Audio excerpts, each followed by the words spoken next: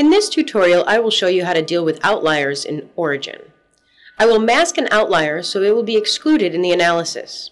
I've already imported a sample file. So let's create a simple scatter plot of the data. Now, open the Fit Linear tool from the Analysis menu.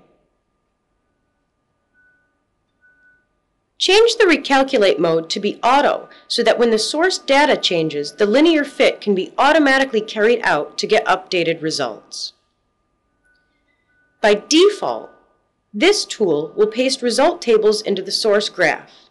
I don't need this, so I will disable it. Let's see the results in the report sheet. Note that the adjusted R-square value is about 0.6, this indicates that the fitting is not very good. We'll save this fit curve into another book and plot it back later for comparison. Open a new workbook. Now go to the graph and select the fit line. Use Control-C to copy it, then Control-V to paste it into the empty workbook. Now look at the graph again. There's a point near the bottom axis. It's likely to be a faulty point or an outlier. We can exclude it from the fitting by masking it. To mask it, use the Regional Mask tool. Click and hold down the left mouse button to open the flyout menu. The add and remove mask points in the active plot will only mask or unmask points in the active curve. The add and remove mask points in all plots will mask or unmask points in all curves in the active layer. Click on the Add Mask Points to Active Plot. Then draw a rectangle around the point.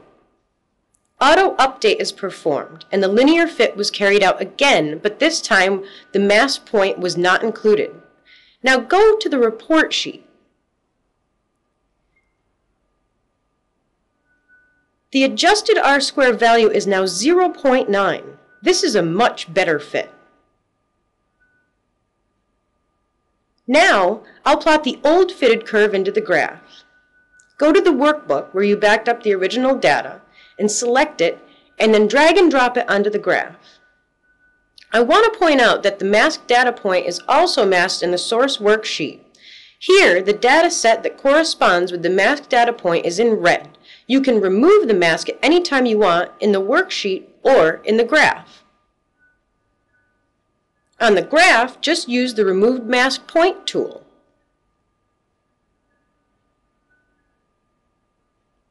You can use the spacebar to toggle the shape of the tool. Or you can use Tab to change mode between active plot and all plots.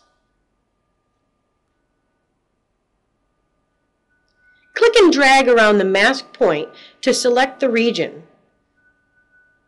The auto update is carried out again. The fitting line reverts back to the original. You can also use the mask tool to repeatedly select different data points.